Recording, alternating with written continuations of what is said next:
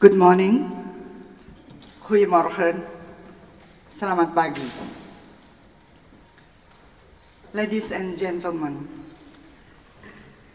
this year it is 50 years ago that the darkest period in post-colonial Indonesian history began. The mass killing of hundreds of thousands of innocent citizens, large-scale imprisonment under inhuman conditions, torture, slave labor, and forced disappearances, sexual violence, and other forms of persecution. Thousands of nation's most promising intellectual youth became exiled. The Indonesian Communist Party was destroyed. The military dictatorship under General in the later President Suharto sharply curtailed the human rights of Indonesian citizens. To this day, impunity for the perpetrator of these crimes against humanity reign and the victim are not rehabilitated, but instead seen, seen as guilty for the suffering they and their family members experience. Not only impunity, but persecution itself continues militia are allowed or stimulated to break up meetings of victims. A Swedish national and Indonesian exile and member of our IPT network was deported after visiting the mass grave where his father was buried. There is continued harassment of human rights defender and two weeks ago, the launching of books, an exhibition and a film showing on this period schedule at the Ubud Writers and Readers Festival had to be canceled as the organizer were threatened that they might lose the permit for entire event. Indonesian students volunteering for this tribunal were warned that they might lose their scholarship. Thus, the rights continually guaranteed to Indonesian citizens of free speech, of association, are not upheld.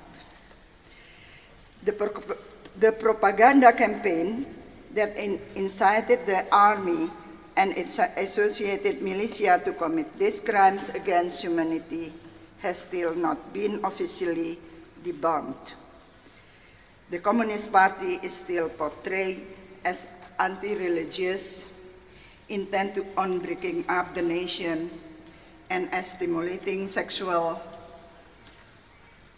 prevention, perversion. Even human rights defenders these days are accused of being new style of communists. History book repeat that lies produced in the murder of the general on October 1st, 1965. The extent of mass murder is not known. The state has not taken any responsibility for the mass crime committed under its jurisdiction, nor have other states who were aware of the large-scale killings at the time but did nothing to stop them. Indeed, provided the army with supplies they needed to carry out their criminal duties, accepted their responsibility. National effort to engage in a process of truth-finding prior to reconciliation so far have failed. The impressive 2012 report of the National Human Rights Commission in six regions which should have formed the basis of comprehensive program the truth, uh, of truth finding, justice, and reconciliation has not led to a follow-up from the National Attorney Office. The full report is still not released. its content hidden from public scrutiny. To this day, the Indonesian people are denied the right of truth, to justice, to rehabilitation, and the guarantee of non-recurrence. The Indonesian youth is brought up with lies and ignorance. The stigma of their grandparents and parents is carried over uh, into the third generation. It is time to break down the vicious cycle of denial, distortion, taboo, secrecy surrounding the event of 1965. Therefore, direct victim of the mass crime against humanity committed in Indonesia after October 1st, 1965, who are living both within Indonesia and abroad, and their family member, as well as human rights lawyer, activists, artists, journalists, and researchers who have long worked on this period, have come together to bring these crimes against humanity to international level. We have set up the foundation International People's Tribunal 1965 to organize the International People's Tribunal on 1965 crimes against humanity in Indonesia. We have collected material that bring before the tribunal to consider without fear and fervor. In this tribunal, the victim will speak out. They have been silenced and objected till now. The material brought before the tribunal will provide a public record of mass killing and other crimes humanity committed after October 1st, 1965. The tribunal will have opened up a space for public debate on the his history of Indonesia, on its post-colonial ambition, on its effort to build social justice, on its attempt to establish the rule of law. The tribunal is a moral instrument to help break through the cycle of violence in Indonesia. We, the people who established this tribunal, say clearly, never again. We affirm the uncompromising hope that justice is possible in Indonesia and that human rights and rule of law are recognized and respected. Our aim is to stimulate a process of healing to help Indonesia realize its own stated aims and potential to be a country in which the coming generation will live peacefully and secure, secure life. Therefore, the truth must be established. The wound in Indonesian society are too deep. The pattern of violence and oppression are firmly ingrained in the security apparatus and condoned by interested, powerful political and socio-economic groups. As long as Indonesia history is distorted in people's mind and it is educational system, the country cannot learn from its past mistake and there is no guarantee the violence may not reoccur.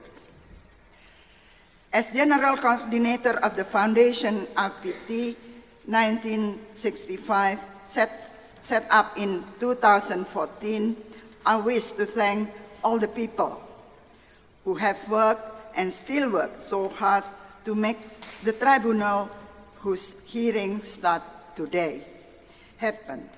In the first place, our panel of judges, Mireille Fanon Mendes France.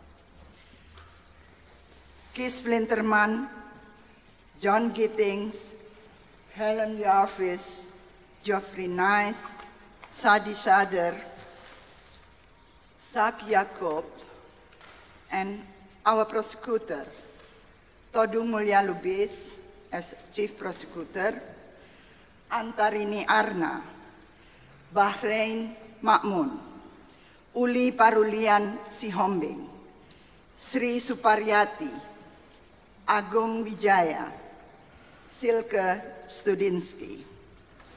Our registrar, Sylvia Sefar. Our organizing committee, Helene van Klinken, coordinator, volunteer and secretariat. Annette van Offenbeek, member OSI. Lea Pamungkas, coordinator media team. Ratna Saptari, member of OSI and also member editorials research report. Sri Tunruang, treasurer. Artin Utre, member UC. Sri Lestari Wahyuningroem, co-coordinator Indonesian team. Saskia Wieringa, chair, Foundation IPT, coordinator of uh, research uh, report.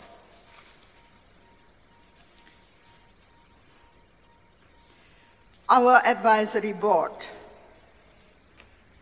Dolorosa Sinaga, Syamsiah Achmad, Jan Breman, Martha Meijer, Nico Schulte Nordholt, Joshua Oppenheimer, Jan Pronk, Indai Sajor, Frederick de Flaming, Abram de Swaan, Galuh Wandita, Ben White, Herlambang Wiratraman.